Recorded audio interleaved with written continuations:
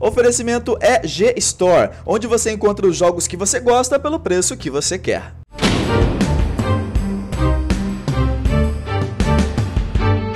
Fala aí pessoal, beleza? Guilherme Gamer na área com mais um Gamer Point agora sim. Acabou o carnaval de vez, o ano começa oficialmente e no Gamer Point de hoje você vai ver uma comparação entre os serviços de jogos grátis da Microsoft e da Sony, resolução de Titanfall, um disco com mais capacidade de armazenamento que o Blu-ray e também novidades sobre o possível local do novo Assassin's Creed. Fica ligado que tá começando então mais um Gamer Point.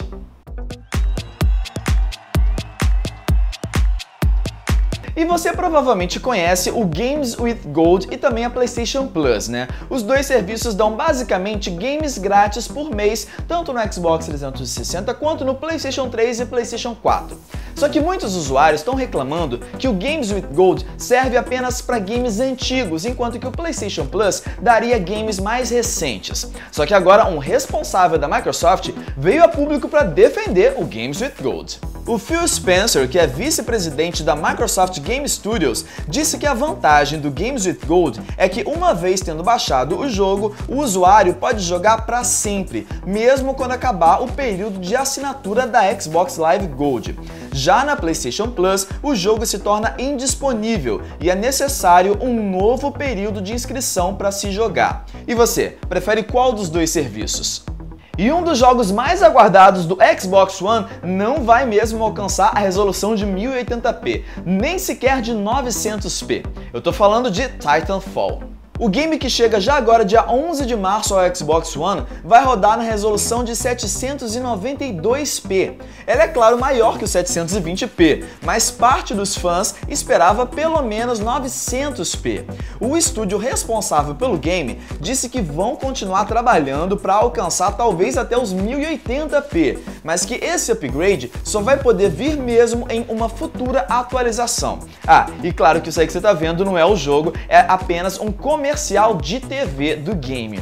E se você acha que o formato Blu-ray já está ficando um pouco ultrapassado, a Sony, em parceria com a Panasonic, anunciou um novo formato de disco. O Archival Disc, ou disco de arquivo, vai comportar até 300 GB de informação, seis vezes mais que os atuais 50 GB do Blu-ray. Mas futuramente esse espaço pode chegar até 1 terabyte. Os primeiros leitores desse formato só chegam no ano que vem e ele vai ser usado principalmente para os filmes com resolução de 4K. E tá aí o novo visual das capas de jogos do PlayStation 3. Esse novo padrão vai ser adotado nos próximos games e é mais parecido com aquele que é utilizado atualmente nos games do PS4 e PS Vita. E a Ubisoft confirmou uma nova edição de Assassin's Creed 4 Black Flag.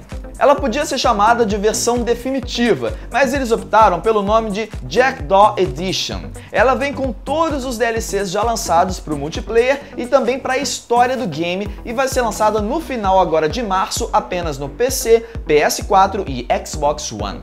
Tá, e o novo Assassin's Creed que provavelmente deve chegar ainda esse ano, né? Onde será que ele vai se passar? Em qual era da história? Bom, os rumores agora indicam para era vitoriana e o game se passaria nas cidades de Londres e Paris. Além disso, ele se chamaria Assassin's Creed Unity e seria lançado apenas no Xbox One, PlayStation 4, Wii U e PC, deixando de fora o Xbox 360 e o PlayStation 3. Vamos aguardar por confirmações a respeito do novo Assassin's Assassin's Creed nos próximos meses por parte da Ubisoft.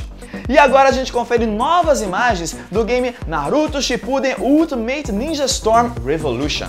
Nelas a gente pode ver trechos de 50 minutos de animações inéditas que foram feitas especialmente para o jogo. Elas mostram o começo da organização Akatsuki, trazendo as motivações de personagens importantes que ainda não tinham sido contadas. O game chega ainda esse ano para PlayStation 3 e Xbox 360, ainda sem uma data definida.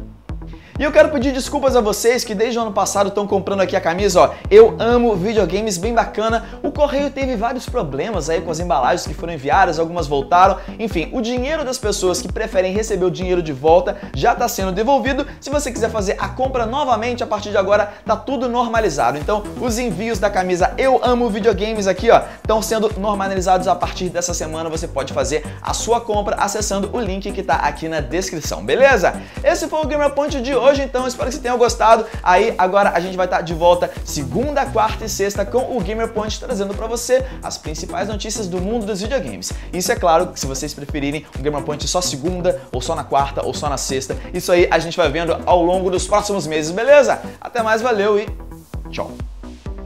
Oferecimento é G-Store, onde você encontra os jogos que você gosta pelo preço que você quer.